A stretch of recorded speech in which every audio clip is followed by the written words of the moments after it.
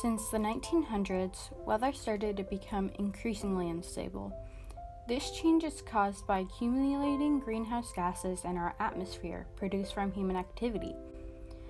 All the way back in the 1760s, when the Industrial Revolution began, fossil fuels were burned in order to use tools like the spinning jenny and the steam engine. The action of burning coal and other fossil fuels releases carbon dioxide and other chemicals into our atmosphere and causes the planet to warm.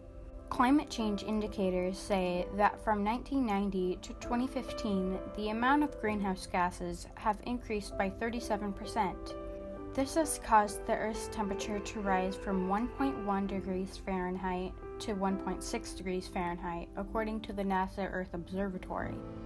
As the Earth begins to warm, weather patterns change and become unpredictable. Warming air boosts evaporation and can make droughts even worse and last longer. Global warming can make the dry season last longer, which means wildfires have more time to spread. Global warming increases water vapor in the atmosphere, and this can lead to frequent heavy rain and storms. In 2020, we have had 24 tropical or subtropical cyclones, 23 named storms, 8 hurricanes, and 2 major hurricanes.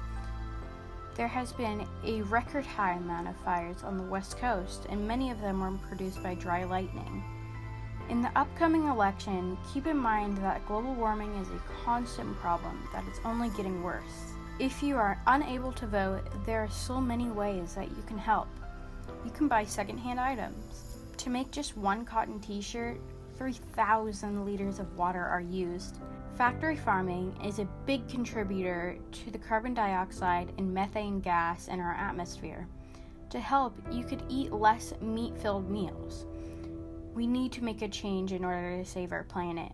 To learn more information about this issue, go to www.theconsciouschallenge.org.